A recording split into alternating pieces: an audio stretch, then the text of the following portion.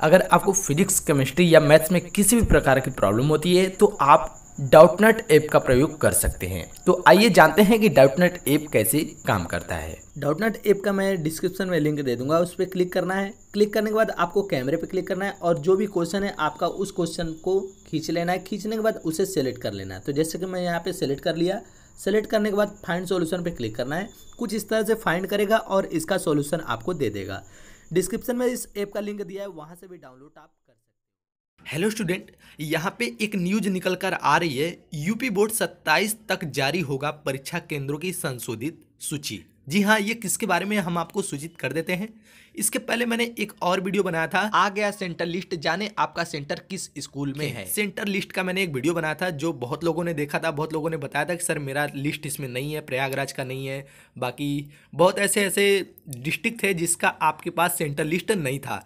तो उसी को लेकर एक और निकल कर न्यूज़ आया हुआ है जो कि 27 तक जारी होगा परीक्षा केंद्रों की संशोधित सूची। ये किसके बारे में चलिए हम आपको बता देते हैं।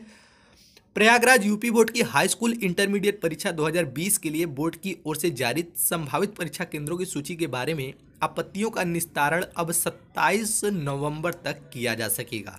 शासन के संयुक्त सचिव जयशंकर दुबे की ओर से जारी सूचना में कहा गया है कि हाई स्कूल इंटरमीडिएट परीक्षाओं के ऑनलाइन चयनित परीक्षा केंद्रों के बारे में आपत्तियाँ आमंत्रित करने एवं उसका निस्तारण किए जाने की निर्धारित तिथि में आंशिक संशोधन किया गया है।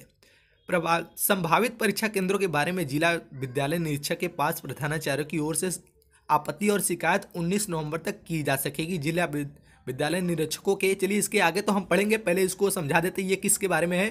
देखिए, बहुत सारे विद्यार्थी जिसका सेंटर लिस्ट थोड़ा दूर पर था, आपके जहाँ पर था सेंटर वहाँ से थोड़ा दूरी पर था तो उसको चेंज करने की अपील आ चुकी है। जो कि 27 नवंबर तक ये चेंज हो सकते हैं आपके सेंटर लिस्ट तो जितने लोगों ने अभी तक सेंटर लिस्ट दे चुका है तो वो कंफर्म मत करिएगा कि वहीं आपका सेंटर लिस्ट है, उसे भी चेंजेस अभी करने की अपील किया गया है, जो कि 27 नवंबर तक होने की पूरी तरह से संभावनाएँ बनी रहें।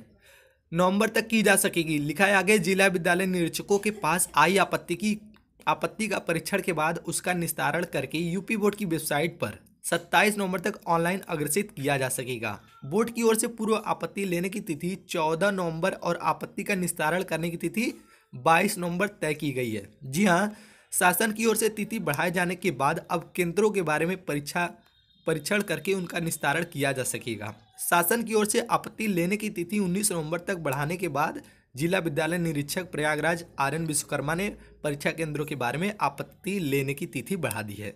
अब हम बात करते हैं, ये जो भी न्यूज़ है, इस न्यूज़ को आप अमर उजाला पे देख सकते हैं, इसका पीडीएफ फ़ाइल मैं डिस्क्रिप्शन में दे दूँगा, वहाँ से भी आप अच्छे से इसे रीड कर सकते हैं। आपको यह सूचित कर दें, ये सेंट्रल लिस्ट के बारे में न्यूज़ निकल कर आया है, जो कि आपका सेंट्रल लिस्ट मैंने जारी किया था, वो सेंट्रल लिस्ट फाइनल आपका नहीं है, उसमें अभी बहुत बदलाव किए जा सकते हैं, ठीक है?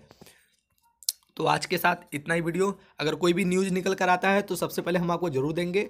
हमारे साथ बने रहें और चैनल को सब्सक्राइब ज़रूर करें, क्योंकि आने वाली कोई भी अपडेट, कोई भी न्यूज़ रहेगा, मैं तुरंत सबसे पहले आपको दे सकूँ। जय हिंद, जय भारत।